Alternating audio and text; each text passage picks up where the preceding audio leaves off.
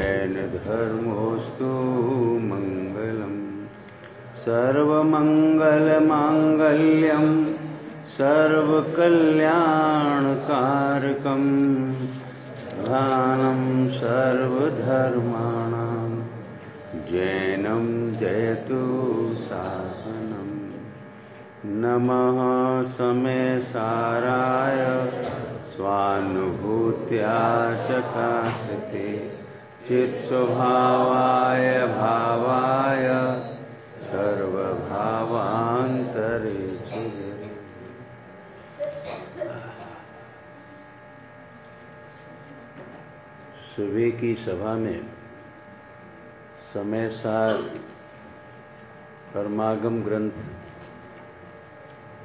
की कलश नंबर सात के आधार से पूज्य गुरुदेव श्री के जो उस कलश पर प्रवचन हुए हैं, उनमें हमने यहाँ देखा कि पर्याय में द्रव्य नहीं आता है। द्रव्य की प्रतीति, द्रव्य का ज्ञान, द्रव्य का अनुभव, ये पर्याय में आता है। और तीन जो उसमें बोलाए थे कि पर्याय एक समय है, पर्याय उत्पन्न होती है और पर्याय में शुद्ध अशुद्ध का भेद पड़ता है। ये तीन बातें गुरुदेव श्री के प्रवचन में आई थी और उसी को हमने ये घटित किया कि प्रतीति में आता है, द्रव्य पर्याय में नहीं आता है। द्रव्य की प्रतीति आती है, ज्ञान आता है। समझ में आया? लेकिन उसमें एक बहुत बहुमूल्य एक शर्त है, अनिवार्यता है, कि वह पर्याय अपने को ज्ञायक भाव के सन्मुख ज्ञायक भाव रूप भावे। तब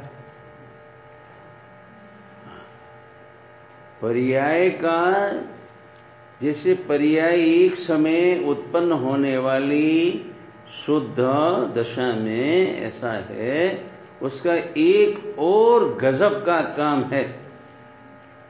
जिसको जैसनाचार्य देव ने 320 नंबर की गाथा की टीका करता हुआ कहा कि वो भावना रूप है, पर्याय ध्यान रूप है, पर्याय भावना रूप है, पर्याय ध्येय रूप नहीं है। पर्याय त्रकाली भाव रूप नहीं है। ये 320 में लिया। रत्नकंठ शराब का आचार में सदाशुभदास कासलीवाल जी साहब ने भी ए भावना रूप है परिया ये लिया। और द्रव्य संग्रह में भी भावती है पर्याय अपने में, अपने को द्रव्य के सन्मुख रूप, द्रव्य के लक्ष्य रूप द्रव्य रूप भाती है। उसका पर्यायगत, उसका ऐसा ही स्वभाव है, बाने का। बाने का उसका स्वभाव है। त्रिकाली भगवान आत्मा भावना रूप नहीं है। उसका काम बाना नहीं है। ये चर्चा सुबह में हुआ था। अब देखिए यहाँ पर क्या कहते हैं। देखो। ये ब्यासी पेज पर था ना। सामर्थ्य की प्रतीति आई। द्रव्य का सामर्थ्य कितना है, ऐसी प्रतीति आ गई। मिल गया आपको? ब्यासी पृष्ठ पर मिला बेटा जी आपको। कहाँ पढ़ते हैं हम? नहीं ख्याल में है? देखो प्रोजेक्टर पर आ रहा देखो, ब्यासी प्रश्न आया। और तुम मंगलार्थी हो गए नहीं? हो? हाँ तो कैसे मंगलार्थी हो? हाँ। मंगलार्थी कर समझते हो ना? चेहरे पर स्माइलिंग है? बॉडी में स्मार्टनेस है? दृष्टि एकदम दूर दूर दृष्टि, पक्का इरादा। है? ऐसे बच्चों का एडमिशन होता है यहाँ पर। और तुम्हारी दृष्टि तो बहुत सूक्ष्म है। बताओ कौन से पेज पर पढ़ रहे हैं अपन? बयासी पेज पर पढ़ रहे हैं। कहाँ पढ़ रहे हैं? बताओ इसको। इसे बताओ, भैया को बताओ। हाँ कहाँ पढ़ रहे हैं? नीचे वाला है ना? मिला? नीचे का पैराग्राफ में ऊपर की चौथी पंक्ति से पढ़ा था ना अपन ने? तो उसमें तीसरे में द्रव्य का सामर्थ्य कितनी है ऐसी प्रतीति आ गई।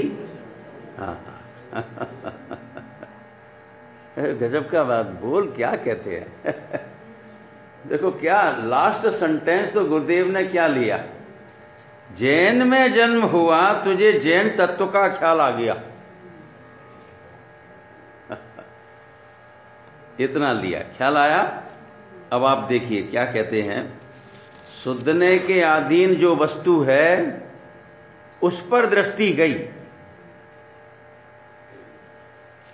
ये देखो।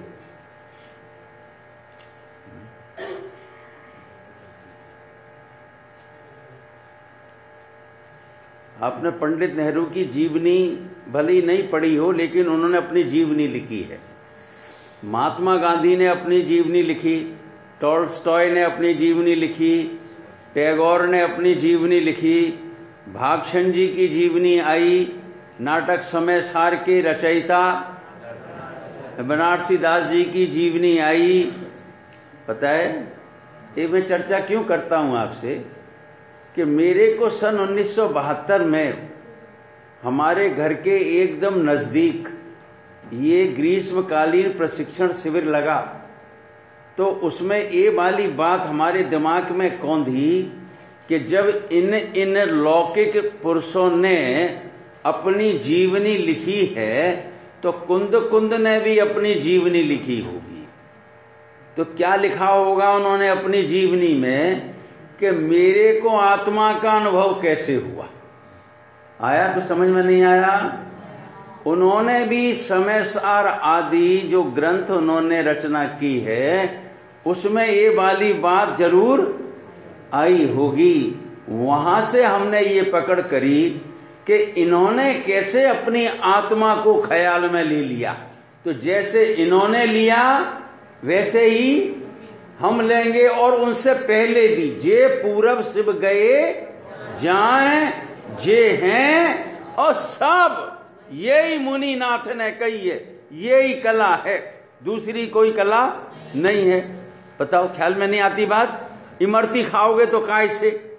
मुँह से? रसगुल्ला खाओगे तो काय से? के मुँह से? और पपड़ी खाओगे तो काय से? के मुँह से? पैठ समझ में आया? तुम ही अकेले नहीं खाओगे? सभी खाएँगे। समझ में बात आती है? तो कुंद कुंद ने कैसा आत्मा का अनुभव किया? इसको प्रवचन सार में अमरचंद्र आचार्य देव ने लिया है। हा अरे, हम भी पहले ऐसे ही थे, फिर हमारे ये आत्मा का आह्लाद हो गया, हमको ये आत्मा ख्याल में आ गया तो वो कैसे ख्याल में आ जाता है? ये सारी बात यहाँ पर आ रही है इस पैराग्राफ में। देखिए लास्ट पैराग्राफ शुद्धने के अधीन जो वस्तु है वस्तु है वस्तु है। पहले ये वाली बात बराबर है? तो वो वस्तु है, पहले ये रखना है। है उस पर दृष्टि गई। वस्तु है, पर दृष्टि गई। इसका मतलब कि पहले दृष्टि वस्तु पर नहीं थी, तब भी वस्तु तो थी। क्या समझ में आया? नहीं समझ में आया? नहीं आया ना? क्या समझ में नहीं आया? ये तो समझ में आया होगा। कोई बात नहीं। वस्तु पर दृष्टि गई तो पहले वस्तु पर दृष्टि नहीं गई थी। जब नहीं गई थी, तब भी वस्तु तो थी, और अब वस्तु पर दृष्टि गई तो दृष्टि पहले नहीं गई थी, अब गई लेकिन वस्तु जो है, वो नई उत्पन्न नहीं हुई। वो तो विद्यमान है। वो मौजूद है। ये बात सबसे पहले आत्मार्थी की समझ में आनी चाहिए। कैसे आत्मा का अनुभव होगा? कैसे वेद ज्ञान होगा? कोई बातों से ना गलगप्पा से नहीं होता है। गलगप्पा समझते हैं ना? हाँ ये चमड़े की जवान चला दी, हो गया। ऐसे नहीं होता है। हाँ, हाँ? हमारे तो ऐसा कहते हैं गाल बजा दिए और हो गया। ऐसे थोड़ी होता है। ये देखो क्या कह रहे हैं देखो बराबर समझो। अच्छा इस पर थोड़ा फोकस करना है। जो वस्तु है बराबर पकड़ाया वस्तु है उस पर दृष्टि गई। दृष्टि किस पर गई? वस्तु पर तो दृष्टि जाने वाली कौन? दृष्टि। नहीं गई थी कौन? के दृष्टि। के वस्तु। के वस्तु तो वहीं की वहीं थी भाई साहब। पैंट समझ में आ गया आपके? बहुत सुंदर बात है बहुत गजब की बात। है अभी तो थोड़ा चलने वाला है। हम्म। तो वह अधीन वहाँ द्रव्य है, ऐसा ख्याल में आया। माने तब ये ख्याल में आया कि ये दृष्टि के अधीन वस्तु है। थोड़ा समझना? वस्तु, जब दृष्टि नहीं गई थी, तब वस्तु थी कि नहीं?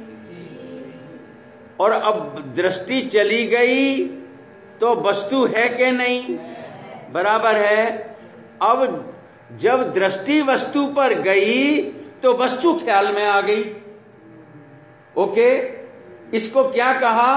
अच्छा ये वस्तु ऐसी है कि जब तक इसकी दृष्टि न करो, तब तक ये ख्याल में यही तो नियम निकल करके आया कि तुम्हारे आज तक ये वस्तु क्यों नहीं दृष्टि में आई?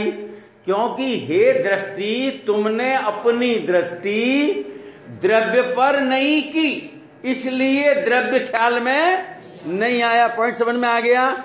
इसका अर्थ ये निकला कि तुम द्रव्य त्रकाली, ये तुम्हारी दृष्टि वाली दृष्टि के अधीन है। थोड़ा ट्विस्ट है सब, वो जो वाक्य मैंने पढ़ा। ख्याल, वस्तु कौन सी दृष्टि के अधीन है? जो दृष्टि, वस्तु की दृष्टि करे उसके अधीन है। कौन? द्रव्य। द्रव्य किसके अधीन है? कि द्रव्य दृष्टि के अधीन है। बराबर समझ में आ गया? कि तुम कब फ़ोटो तुम्हारी हमारे कैमरे में कब खींचेगी? आया, उदाहरण देता हूँ तुमको अभी। ओ, ख्याल, समझना। कैमरा है, कैमरा। और कैमरे में रील पड़ी हुई है। बराबर है? तो फ़ोटो खिंचेगी कि नहीं खिंचेगी? खिंचेगी। हाँ हाँ खिंचेगी खिंचेगी। बराबर है? खिंचेगी। ठीक? तो सबसे पहले मान लो, देवेंद्र पंडित जी की फ़ोटो खींचनी हो। ठीक? कैमरा है और कैमरे में क्या है? पक्की बात हो गई। तो सबसे पहले तुम क्या करोगे? बोलो, फ़ोटो किसकी खींचनी है? देवेंद्र पंडित जी की। कैमरा तुम्हारे पास, रील उसके अंदर पड़ी हुई है। अब तुम्हें क्या करना है बताओ, क्या करोगे? ये तो तुम्हारी समझ में आया। बोलो, कैसे खेचोगे? बोलो।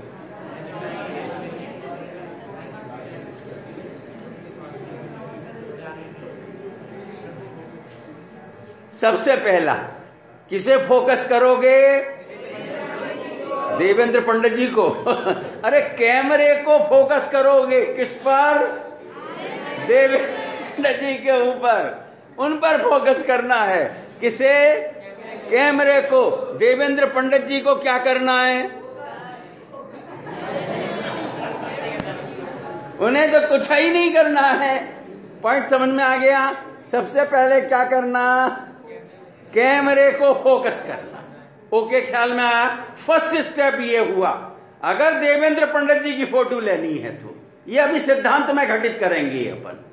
ठीक? अब जो फ़ोटो खिंचेगी, ओके? अभी तक फ़ोटो नहीं खिंची। अभी तक केवल कैमरा फोकस हुआ है। ये फ़ोटो नहीं खिंची है। फ़ोटो कब खिंचेगी? जब क्लिक किया जाएगा। ओके, समझ में आया? और क्लिक करते ही क्या हो गया? फोकस पहले किया था, दूसरे नंबर पर क्या किया? क्लिक किया। तो फ़ोटो कहाँ खींची? कैमरे में कि रील में? रील में। रील काय में है? कैमरे में। पहले कैमरे को क्या किया?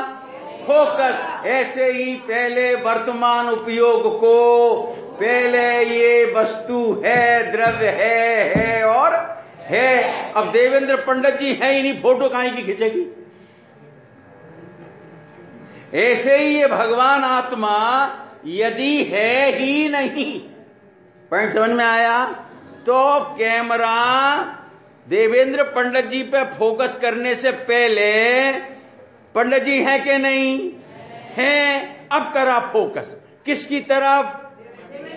देवेंद्र पंडित जी की तरफ़। अब तुमने करा लोहाड़ा ताऊ जी की तरफ़ फोकस। तो देव पंडित जी की कब खिंचेगी फ़ोटो? कभी खिंचाई नहीं सकती। और तुमने अपने वर्तमान ज्ञान उपयोग को किसके सन्मुख फोकस किया हुआ है? पर द्रव्यों पर पर द्रव्य के भावों पर पर द्रव्य की पर्याय पर पर्याय पर, राग पर, उस पर तो तुमने लगाया हुआ है कैमरा। और क्या कह रहे हो कि हमने, हमारी फ़ोटो खींच रही है कि किसकी? ये आत्मा की। भैया, ये तुम्हारे तुम्हारे यहीं चलता होगा गाँव में, कि फोकस करो किसी को और फ़ोटो खींचे उसकी। पॉइंट समझ में आया? अगर आत्मा का अनुभव करना है, उसकी दृष्टि करनी है तो तेरे को, उस कैमरे को सर्व ओर से समेटकर दिशा परिवर्तन कर कर, जिसकी फ़ोटो खींचनी है, उसके सन्मुख लाना पड़ेगा, बुद्धिपूर्वक। समझ में आया? ये धोती दुपट्टा पहन लिया और अंगोछा रख लिया, इससे नहीं होता है कोई धर्मर्म। वो ज्ञायक परमात्मा तत्व के सन्मुख उपयोग करना पड़ेगा, और ये क्रिया अंदर की है, बाहर की नहीं।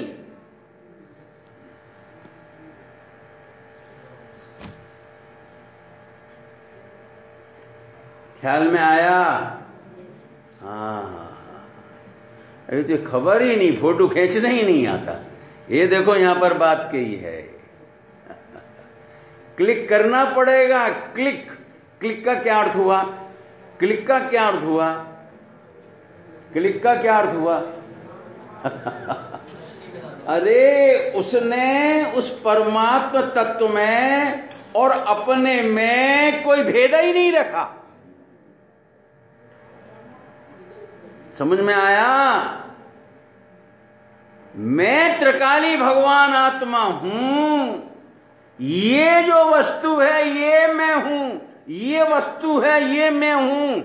ये वस्तु त्रिकाली जो एक मूल ज्ञायक भाव है, वह मैं हूँ। ऐसी भावना रूप उसके अंदर एक एक समय की पर्याय में अपनी षटकारक योग्यता से जो हो रहा है, वहाँ पर ये कर्ता होकर के कार्य संपन्न होता है।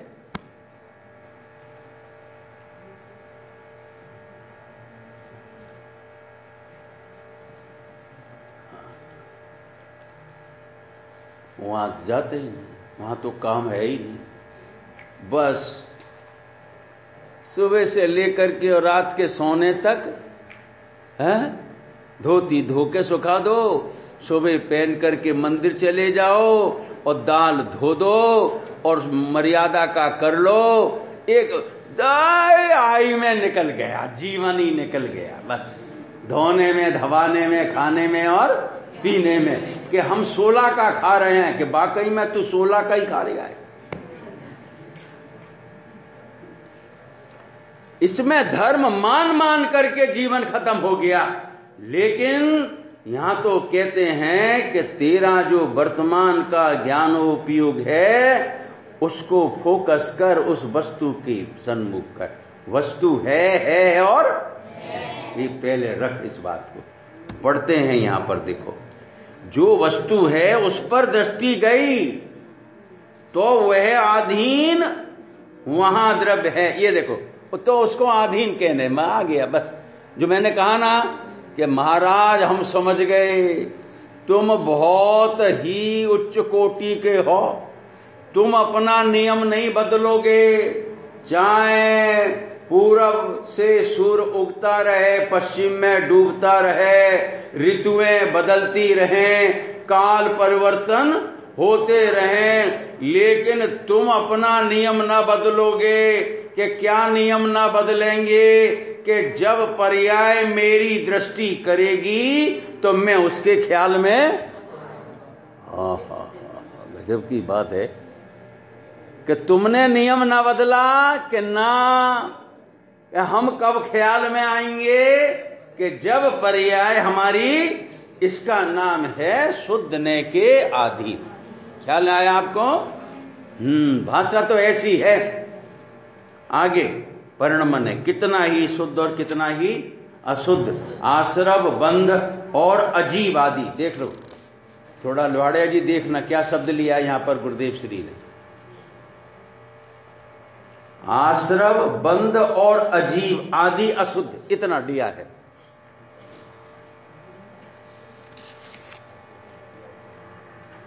और संबर निर्जरा मोक्ष, यह शुद्ध। परंतु यह शुद्ध और अशुद्ध पर्याय होने पर भी वह द्रव्य स्वभाव शुद्ध, अशुद्ध पर्याय में नहीं आया। नहीं आया नहीं आया। ठीक है? आगे का पैराग्राफ देखो। त्रासी पीठ पर। पैराग्राफ है, ऐसा अनंत गुण रूप बेहद अपरमित शक्ति का। तुमको दिखा बेटा, पेज नंबर 83 पैराग्राफ मिल गया आपको। कहा है? कहाँ से शुरू हुआ पैराग्राफ? ऐसा। अब स्माइलिंग आई तुम्हारे फेस पर, है? वेरी गुड अब लगते हो तो मंगलाचरण विद्यार्थी हो। हाँ। देखो उसकी दूसरी पंक्ति। दूसरी पंक्ति देखो। आहा के बाद है। सम्यक दृष्टि को, सम्यक दृष्टि को, यहाँ देखो यहाँ पर। कहा लिखा है? वहाँ लिखा है, क्या लिखा है? सम्यक दृष्टि को बराबर बराबर पढ़ना बराबर पढ़ो। सम्यक दृष्टि को पर्याय से लक्ष्य छूट जाता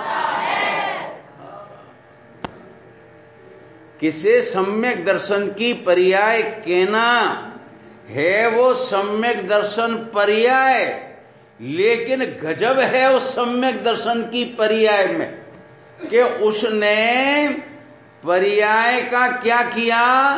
लक्ष्य छोड़ा। पर्याय ने पर्याय पना नहीं छोड़ा है। क्या छोड़ा है?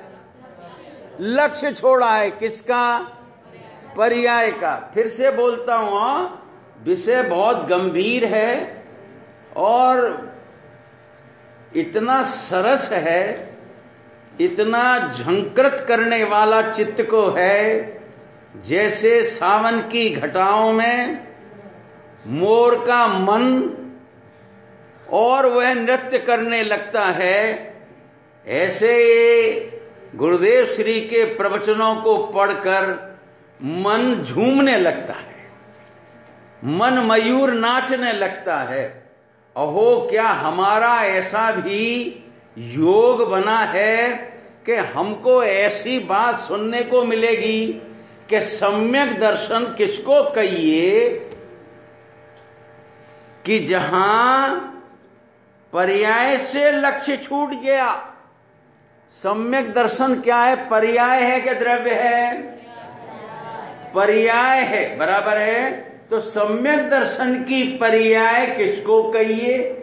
कि जिस पर्याय में पर्याय का लक्ष्य ओहो पर्याय छूट गई ये नहीं। पर्याय छूट गई, सम्यक दर्शन छूट गया ये नहीं। सम्यक दर्शन में क्या छूटा है? पर्याय का लक्ष्य छूटा है। समझ में आया? तो जब पर्याय में पर्याय का लक्ष्य छूटा तो लक्ष्य बिना तो पर्याय रहती नहीं। तो किसका लक्ष्य बचा? जब पर्याय का लक्ष्य छूट गया तो? बस द्रव्य बचा, मैं द्रव्य बचा। गजब की बात है।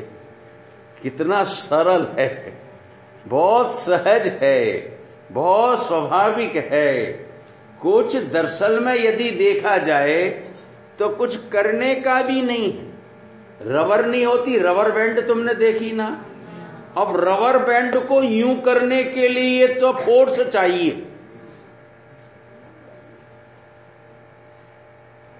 फोर्स समझ गए?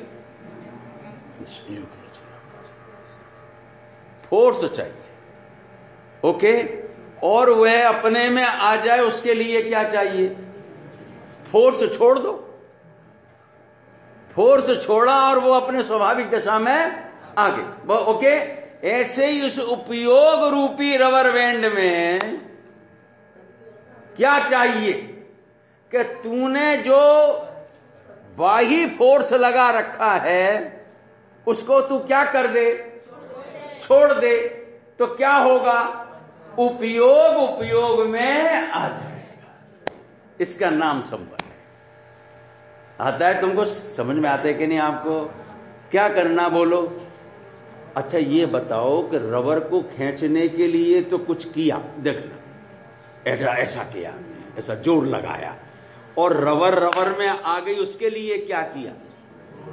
छोड़ दिया, बस। ऐसे ही पर्याय ने, पर्याय में, पर्याय का क्या किया? लक्ष्य छोड़ दिया। अब जब पर्याय में, पर्याय ने, पर्याय का लक्ष्य छोड़ दिया तो अब अब कहा जाएगी? अब कहा जाएँगे?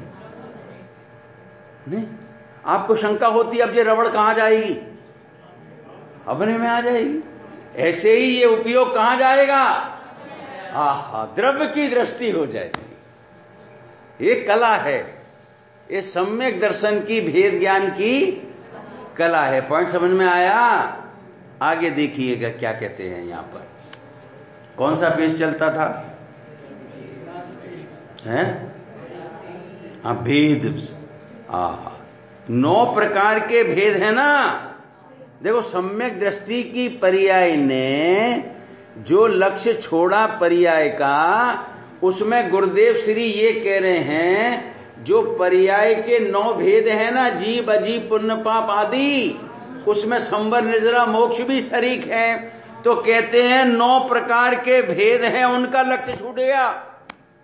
ऐसा नहीं कि मोक्ष का लक्ष्य तो रखा और बाकी का लक्ष्य ए नहीं। उस सम्यक दर्शन की पर्याय ने स्वयं सम्यक दर्शन पर्याय है तो सम्यक दर्शन की पर्याय ने सम्यक दर्शन रूपी पर्याय का भी लक्ष्य, उस पर्याय का नाम सम्यक दर्शन है। अरे भाई, कोई अजब गजब बात है अंदर में। सम्यक दर्शन क्या है? पर्याय है कि द्रव्य है? बराबर है। तो पर्याय, सम्यक दर्शन की पर्याय ने किसका लक्ष्य छोड़ा? सम्यक दर्शन का। सम्यक दर्शन क्या है?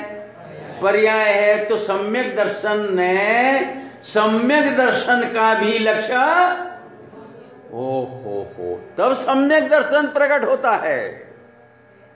इसे क्या लगता है? हाँ गुड़ के पुए बना लिए और गरम गरम सर्दी में खा लिए। क्या हो गया कि सम्यक दर्शन? आज के आनंद की जय हो, बस हो गया काम। हो गया। है? ख्याल में आया कि नहीं? आया जे ही चल रहा है जय ही चल रहा है। आज के आनंद की जय हो। बहुत बढ़िया बहुत बढ़िया। अरे काय का बढ़िया हुआ? अभी तो कुछ हुआ ही नहीं। सम्यक दर्शन किसको कहना? कभी कितना ख्याल अंदर में आता है कि ए, इस महापुरुष की एक एक पंक्ति में कितना सार भरा पड़ा हुआ है। सम्यक दर्शन की पर्याय ने किसका लक्ष्य छोड़ा? सम्यक दर्शन की पर्याय कभी नौ है, नौ भेद है ना? तो उसमें संबर हुआ, संबर। निर्जरा बराबर है। तो सम्यक दर्शन जो पहला प्रगट्या तो सम्यक दर्शन की जो प्रगटता हुई तो वो पर्याय के लक्ष्य से हुई कि द्रव्य के लक्ष्य से? बराबर है। समझ में आया आपको? हाँ अब इसकी और प्रक्रिया समझ लो, सुन लो आज हम्म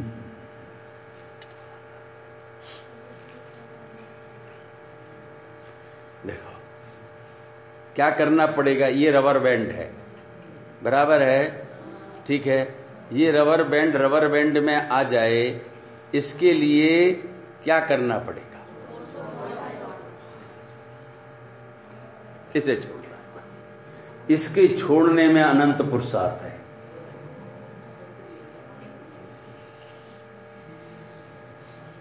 नहीं आया समझ अब जी क्या करता है? कि ये रबर बैंड को यूँ तो पकड़े रहता है, और फिर आँखें मूंद लेगा, और पद्मासन जमा लेगा, और महावीर जनालय में चला जाएगा, महावीर भगवान के सामने बैठेगा, और यूँ करके रबर बैंड पकड़े हुए है, और ऐसा ध्यान कर रहा है कि रबर बैंड रबर बैंड में आ गई।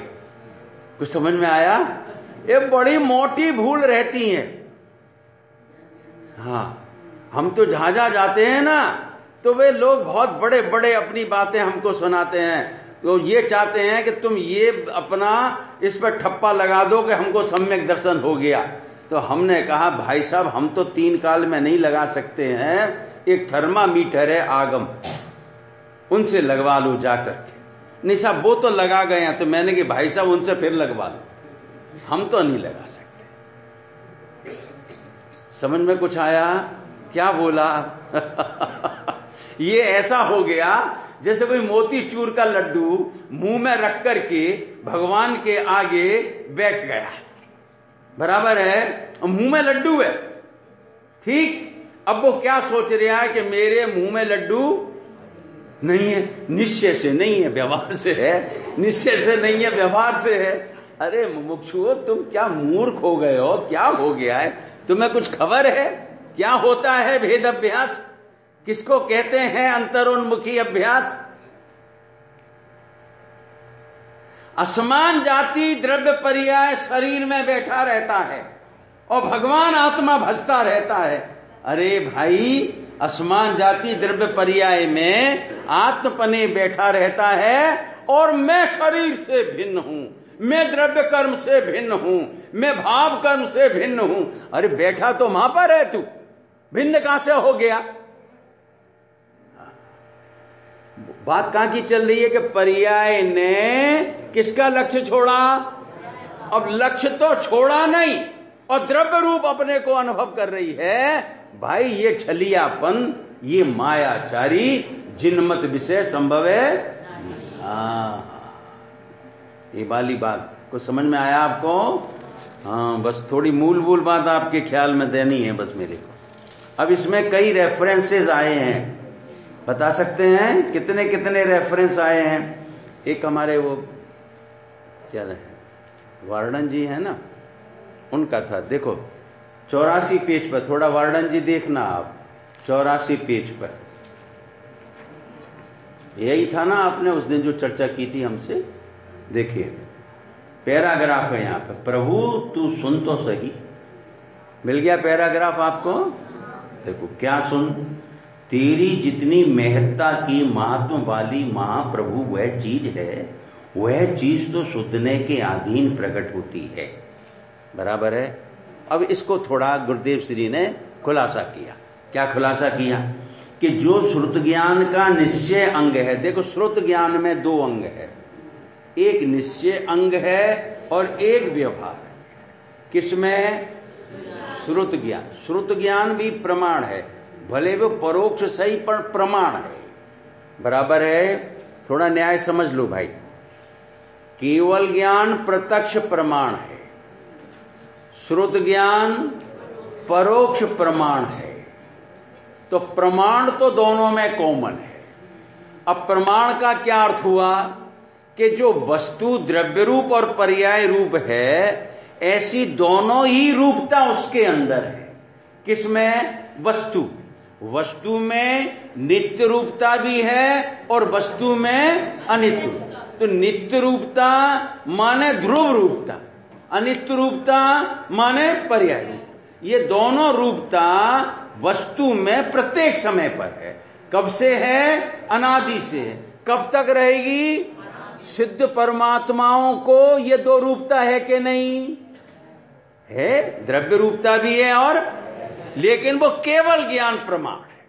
बराबर? प्रत्यक्ष है। यहाँ हमको, माने ज्ञानी धर्मी जीव को, साधक जीव को, उसका जो सम्यक प्रमाण है, वो किस तरीके से है कि द्रव्य रूपता और गुण रूपता दोनों को जानता है वो। एक समय पर, एक ही समय पर दोनों को जानने रूप रहे, उस ज्ञान को प्रमाण ज्ञान कहते हैं। बराबर ख्याल में आ गया? दोनों माने क्या? द्रव्य और गुण नहीं अभी पर्याय अनंत गुणों के समुदाय वाला वो तो द्रव्य कहते ही आ गया उसके अंदर। वो तो आ गया उसके अंदर। उसमें तो अंडरस्टूड है। बराबर नहीं समझ में आया। गुणों बिना का द्रव्य होता है क्या? नहीं होता है ना। अनंत गुणों के समुदाय को द्रव्य कहते हैं। बराबर है।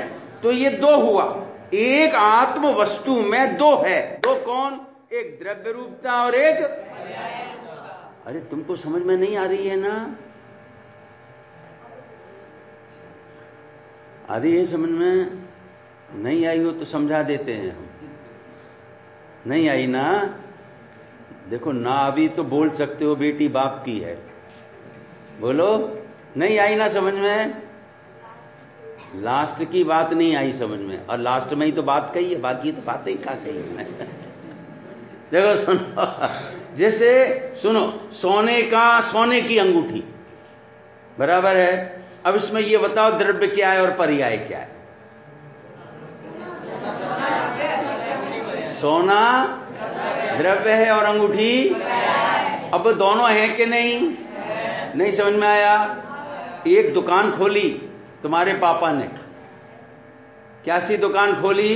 बोला, पंडित जी मैंने सोने की दुकान खोली है। मैंने भाई साहब बहुत अच्छी बात की है।